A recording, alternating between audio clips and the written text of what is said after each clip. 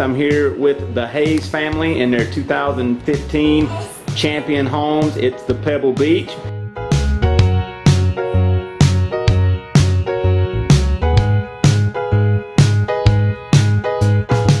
Everything so far has been good. Uh, they're taking care of us. Got the house here.